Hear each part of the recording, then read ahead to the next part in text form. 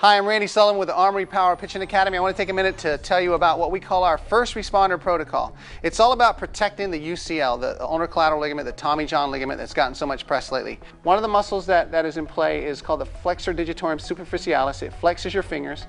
And, and what we like to do is we use this uh, power web here as one of our grip strengthening ideas to try to use that to strengthen the muscles of the forearm there to protect that. So Ty demonstrated that well.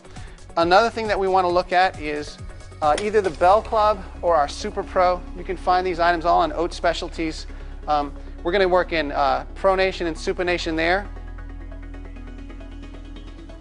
Mr. Oates has also just recently designed for us a, um, a new, a new uh, band item here that we're going to use, and we're going to demonstrate this for you now.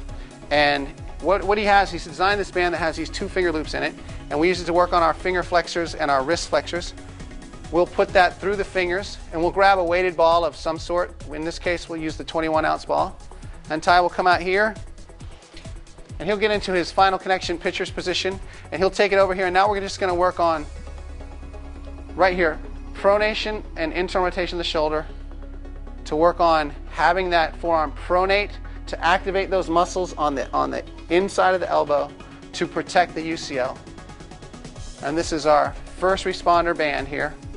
Now, one other important first responder is the biceps muscle. Okay, the biceps has to contract eccentrically to resist elbow extension, but it has to do so in a way that doesn't promote forearm supination. The biceps is a really powerful supinator of the forearm, so we need to learn to control it eccentrically while we pronate the forearm. So we practice that neuromuscular reeducation here using the same first responder band. You might want to come over here, there you go. And then he'll pull this back and then he'll go into eccentric control of the biceps as he pronates the forearm. So pull it back. And then after we do that a little while, we can add some speed to the equation. We can start to move really fast and try to simulate game speed activity with this, okay?